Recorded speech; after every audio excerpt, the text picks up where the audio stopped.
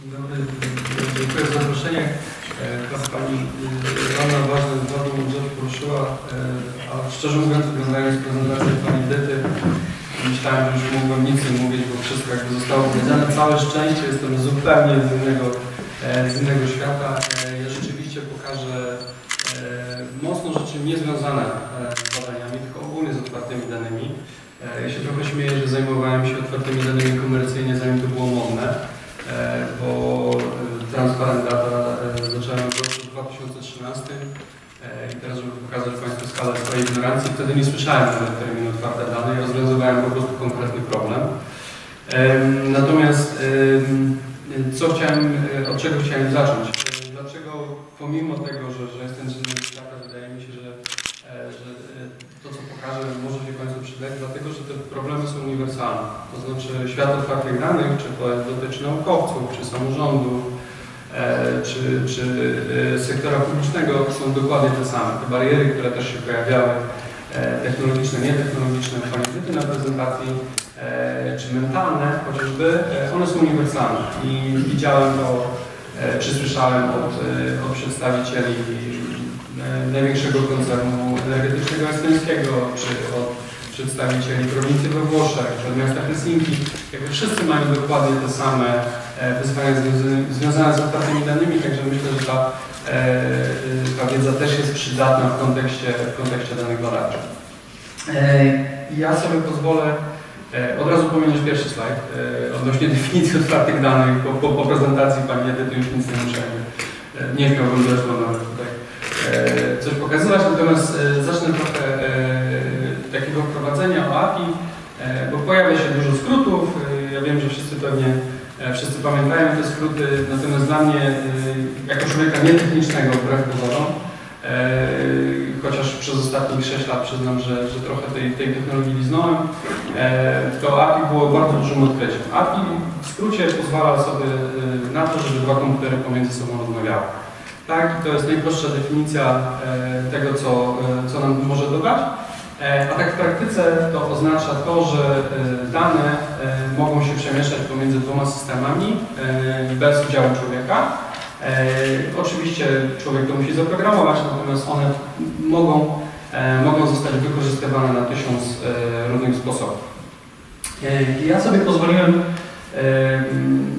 pokazać kilka przykładów tylko, dlatego że ja też mam takie poczucie, że tak jak był pokazany ten wykres ilości rosnących danych, e, ilości repozytoriów, teraz ile bym przykładów nie wyciągnął, to i tak to jest jakiś tam ułamek. Także proszę tego nie traktować w żaden sposób jako reprezentatywną, przeglądową prezentację.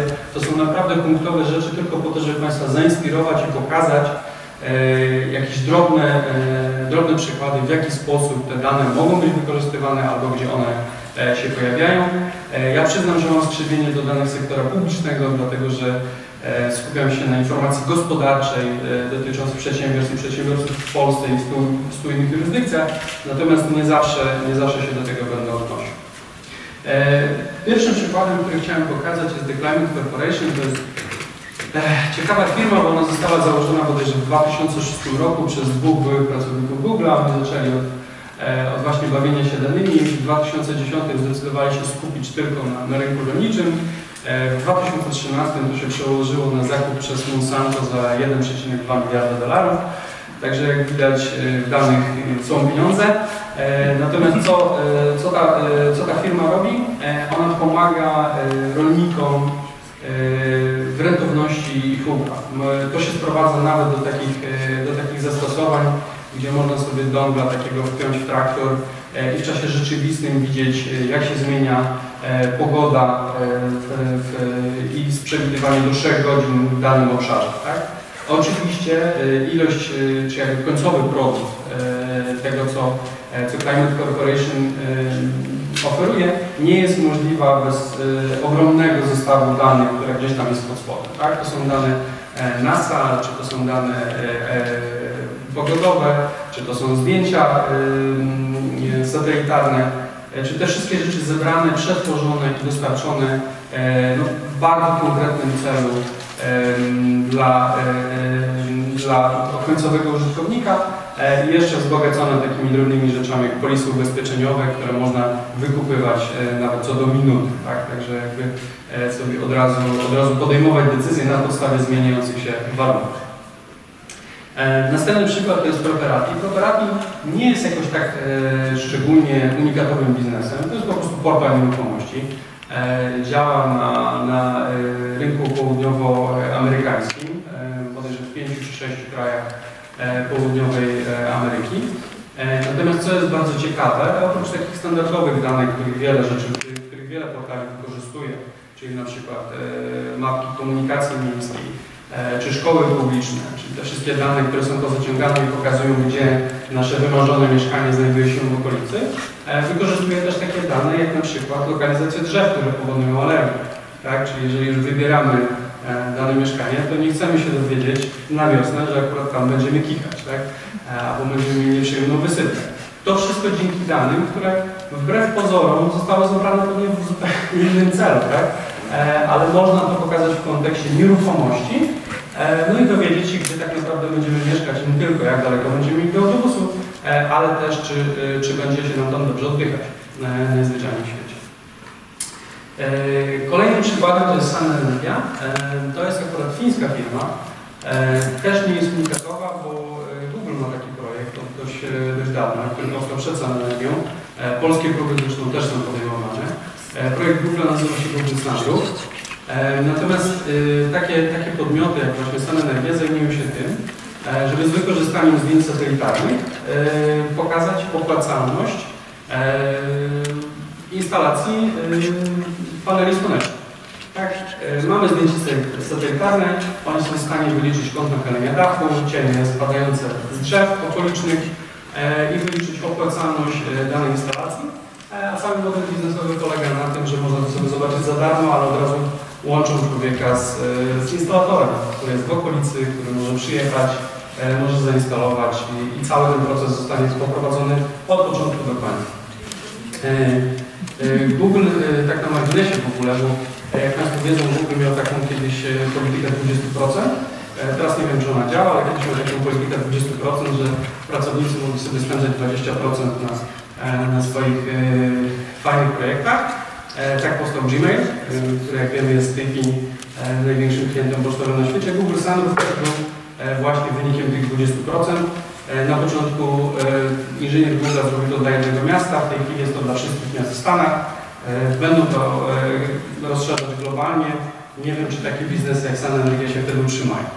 No ale jakby to tylko pokazuje, że może trochę adresuje te obawy, że ktoś może wykorzystać lepiej te same dane na zwyczajnym świecie. Następnym przykładem to jest Shutfield Alec.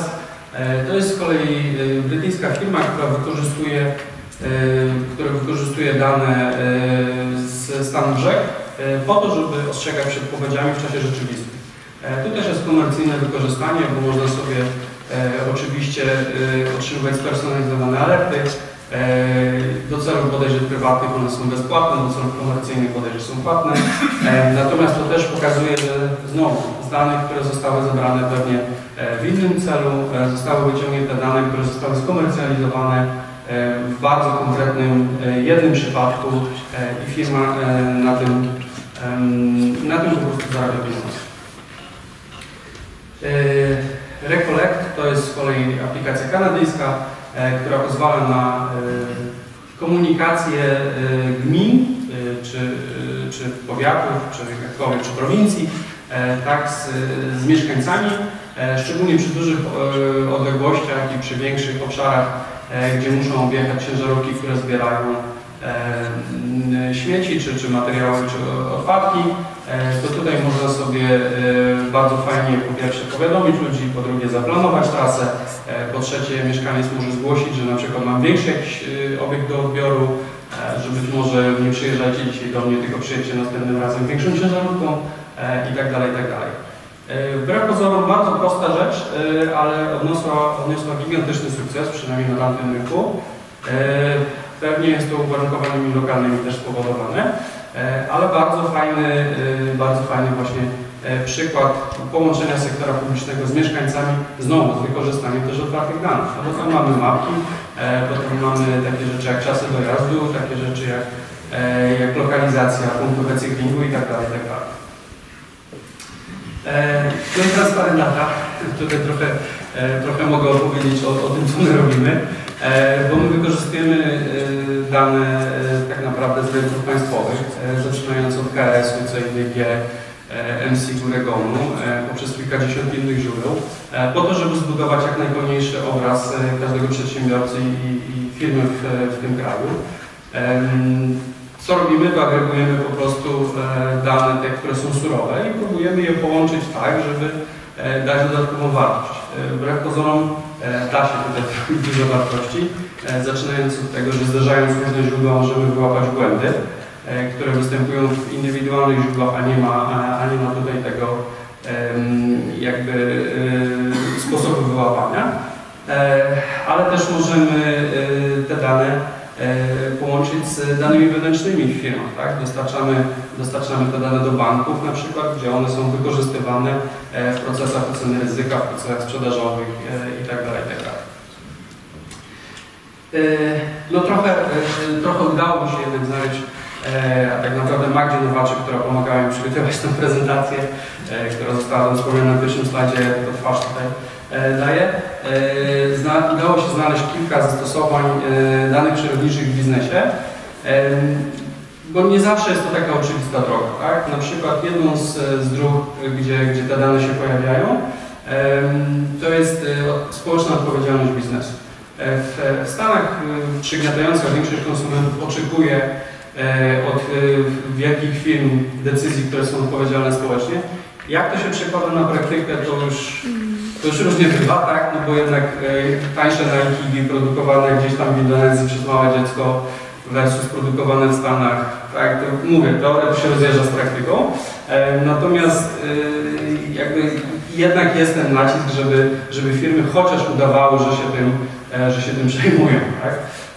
No i, i, i taka aplikacja, którą pewnie tutaj niektóre osoby na sali znają, Global Forest Watch, która ma no, rewelacyjne narzędzia i w sumie tak później żałowałem, że do tej prezentacji nie dorzuciłem screenów właśnie w Puszczy Białowieskiej, gdzie, gdzie w czasie rzeczywistym sobie można poskorelować i pobawić się tymi danymi i zobaczyć jak, e, jak, jak się zmienia drzewostan. E, I oczywiście to są inne dane niż Państwa, bo one są tam dostarczane przez NASA, Google i, i tak dalej, i tak dalej. E, ale to już, jest, e, to już jest źródło danych, gdzie można wykorzystać do tego, żeby właśnie taką społecznie odpowiedzialną decyzję podjąć. Tak? Czy to jest budowa drogi, czy to jest lokalizacja fabryki, e, czy to jest innego rodzaju, innego rodzaju decyzja, jak nawet podpisanie kontraktu z podwykonawcą, gdzieś tam w dalekim kraju, gdzie możemy się podeprzeć właśnie taką, taką jak to ładnie się mówi, pokrytą, przepraszam, że, że, jest, że jest tutaj dobrze zlokalizowany. E, no to taka, taka aplikacja oparta o dane może się nam przydać. Następny to jest Info Amazonia Kolumbia. E, Info Amazonia też ma e, cały komplet danych i to nie tylko są to dane w dużych ilościach, to też są dane od lokalnej społeczności, to też są, to też są dane od dziennikarzy, gdzie są wrzucane do aplikacji na przykład zdjęcia, na przykład raporty, na przykład artykuły, gdzie wszystko związane z, z Amazonią jest zgromadzone w jednym miejscu, a później udostępnione w bardzo różnych formach. Ta akurat Infamazonia Kolumbia, no to się koncentruje rzeczywiście na obszarze, na obszarze Kolumbii i, i, i obszarów leśnych. Udostępnia możliwość poprzez stronę, może sobie zasubskrybować E, od razu alerty, jeżeli na przykład e, zmieni się, e, zmieni się zadrzewienie, tak, czy, czy pojawią się jakieś pożary. Pewnie w ostatnim czasie to te alerty non-stop wychodziły, to zresztą Państwo na pewno słyszeli nie tylko, nie tylko z poziomu tych alertów, ale też wiadomości. Tutaj trochę, trochę jakby nawiązując do tego, że jest całe mnóstwo repozytoriów, gdzie można dobrać, tak? Open Forest Data jest super przykładem, 3600 repozytoriów naliczonych na świecie, tak? Natomiast tu są też przykłady, gdzie można rzeczywiście danymi się podzielić. E, ja e, widziałem na przykład E, znowu, koncentruję się na moim obszarze, ale przykładowo listy sankcyjne rządu Stanów Zjednoczonych są publikowane przynajmniej, myślę, w 10 albo 15 miejscach, w różnych repozytoriach. One są dalej w tym samym formacie ładnym, no ładnym, ale przynajmniej nie w nieczytelnym PDF-ie. Natomiast, natomiast pomimo tego, że oni są właścicielem i tam jest informacja, to można je znaleźć w najróżniejszych repozytoriach i wykorzystać je e, w celach również komercyjnych. Tak? E, wydaje mi się, że to jest bardzo fajny przykład tego, że pomimo tego, że ktoś wytworzył te dane i ktoś e, jest autorem tych danych, to to, że je udostępnia, pozwala na to, żeby łatwiej do nich dotrzeć. Nie tylko właśnie znaleźć jeden konkretny adres, czy jedno konkretne miejsce, gdzie te dane są dostępne. Tu są przykłady E, czy portalu Unii Europejskiej, czy Banku Światowego, e, czy Open Data Soft, który, który umożliwia, powstają też e, nie zawsze udane, komercyjne próby tworzenia giełd danych, to znaczy można swoje dane wystawić również na sprzedaż. Kurczę, nie do końca to działa, szczerze mówiąc, inicjatywy oparte otwarte zdecydowanie lepiej, lepiej działają z jakiegoś, z jakiegoś powodu. E, no i ostatnia część mojej prezentacji, bo chciałem tak pokazać, e, trochę ustrukturyzować tą dane o, o, modelach, e, o modelach biznesowych, no bo jak już są to otwarte dane, to można je na. Jest całe mnóstwo klasyfikacji, znowu ja pokażę jedną z nich, która z przykładami konkretnymi, jak to rzeczywiście, jak to rzeczywiście może działać. Z chęcią mogę opowiedzieć o, o, o praktycznych doświadczeniach rzeczywiście tego wykorzystywania. E, pierwszy, pierwszy model biznesowy to jest premium i tutaj trochę wracam znowu do Transparent Data, do, do mojej firmy, dlatego że my rzeczywiście robimy dokładnie to, tak? To znaczy bierzemy, e, bierzemy otwarte dane z sektora publicznego, surowe e, i przetwarzamy je po to, żeby wyciągnąć z tego więcej. Żeby dać Państwu przykład, co to znaczy więcej. Przykładowo pokazujemy, ile firm jest pod danym adresem. Pokazujemy, ile firm e, zmieniło na przykład e, przedmiot działalności w ciągu ostatniego roku. Pokazujemy, ile firm ma ten sam numer telefonu. Pokazujemy, czy jeżeli patrzymy na daną firmę, czy jego członkowie zarządu byli zaangażowani w bezskuteczną, e, w bezskuteczną egzekucję komorniczą w poprzednich swoich działalnościach. Tak? Czyli to są rzeczy, których nie da się wprost wyczytać z tych danych, pomimo tego, że te dane są dostępne. E, natomiast my, dzięki temu, że możemy te dane wrzucić do siebie do bazy, zastosować kilka mechanizmów wyciągania wniosków z tych danych i przedstawić je w postaci e, łatwego raportu, e, no to dajemy właśnie ten, ten model premium. Następny przykład to jest model filmik, to z kolei jest przeświet, o którym też Pani Joanna wspomniała. Można za darmo się w tej chwili zarejestrować, można za darmo sobie zobaczyć jak podstawowe dane firmy i korzystać cały czas za darmo. Natomiast jeżeli chcemy rozszerzyć swoją wiedzę na temat danego przedsiębiorstwa, no to wskakujemy w ten model premium, tak, czyli z tego freemium i korzystania e, z darmowej próbki, e, czy próbki mniejszego zakresu danych, e, możemy, możemy zmonetyzować za dodatkowe, dodatkowe funkcjonalności czy dodatkowe informacje. Model otwarte źródło to jest Open Corporates, to jest w tej chwili największa baza, baza firm na świecie. E, w tej chwili bodajże mają 120, tak, 120 jurysdykcji. E, jest to firma zlokalizowana w Londynie, 15 osób. E, Unii umożliwiają przeszukanie wszystkich rejestrów handlowych na świecie, albo przynajmniej przymiatającej większości. Z aktualizacją jest różnie, natomiast jest to ogromne źródło. I ich model działania polega na tym, że wszystko dają z darstwa. Tak? Czyli można sobie po prostu wejść, przeszukać, nie ma problemu. Natomiast jeżeli się jest y, jakimś y, graczem, który potrzebuje tego u siebie na dysku, na przykład bankiem, e, no to wtedy się po prostu płaci tej firmie za to, żeby te dane, które oni udostępniają wszystkim za darmo, e, mieć u siebie na dysku.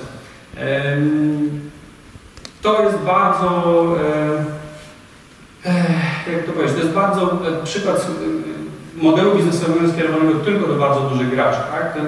On działa tylko w, w takim modelu, jeżeli cała publika i społeczeństwo korzysta z tego, e, ale jest tylko jeden, e, jeden czy dwóch dużych graczy, którzy potrzebują tych danych e, u siebie.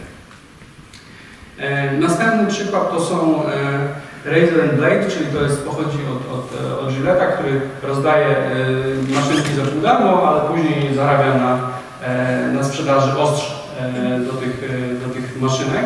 E, I tu jest przykład e, Amazona, który dokładnie w ten sam sposób e, zarabia. To znaczy daje za darmo hosting do gigantycznych źródeł danych, na przykład OpenStreetMap jest tam hostowany.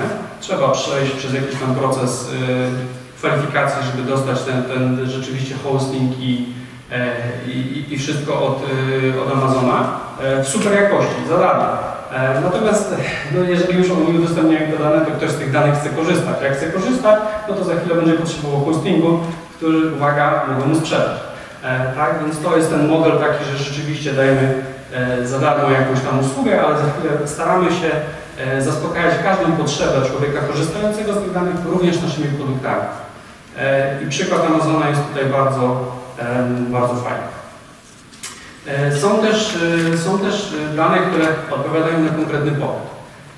Cooknik jest to taka platforma do wizualizacji danych, aplikacja do wizualizacji danych, być może Państwo widzieli. E, I tam jest coś takiego jak data market, który bardzo fajnie próbuje właśnie zmonetyzować, e, zmonetyzować dane, to znaczy są ludzie, którzy korzystają z tej platformy, e, no ale potrzebują jakichś danych. No to teraz wytwórcy danych mogą je wrzucić do data marketu i ten, kto już korzysta z aplikacji Cookie, jednym kliknięciem może sobie zwizualizować. Jest konkretna potrzeba, pod spodem E, są wytwórcy danych, którzy mogą tą konkretną potrzebę zaspokoić. E, natomiast jest też e, możliwość dokładnie odwrotnego procesu. To znaczy nie ma konkretnego popytu, ale wiadomo, że całe mnóstwo danych, na przykład sektora publicznego, które są jakoś ciekawe i które jakoś można wykorzystać i na pewno ktoś wpadnie na to, w jaki sposób te dane wykorzystać.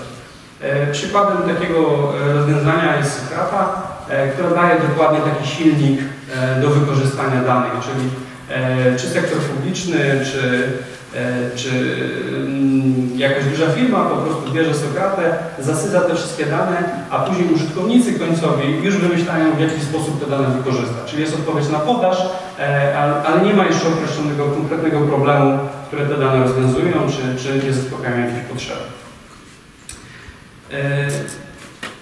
Kolejny to jest reklama marki. E, trochę jest podobny do tego modelu amazonowego, e, natomiast odmienny jest w tym, że Google tak naprawdę nie monetyzuje e, dostępu w żaden sposób do Google Public Data Explorera. Daje po prostu narzędzie do publikacji danych, można sobie je przeglądać, można sobie ładnie wizualizować, można sobie w innych Google'owych narzędziach przetwarzać. W żaden sposób nie jest, nie jest to monetyzowane. Natomiast to, to jest kolejne miejsce Google, gdzie po prostu nas przywiązują najzwyczajniej w świecie i gdzie gdzieś z tyłu głowy mamy, e, mamy to poczucie, że jakichkolwiek rzeczy szukamy, czy jakichkolwiek danych szukamy, no to pójdziemy do Google. E, I tak naprawdę e, to jest tylko reklama, e, reklama marki i e, utrwalenie tego naszego związku emocjonalnego z Googlem, e, że jeżeli jakiekolwiek dane, to tylko tam. No i ostatni model to jest White Label.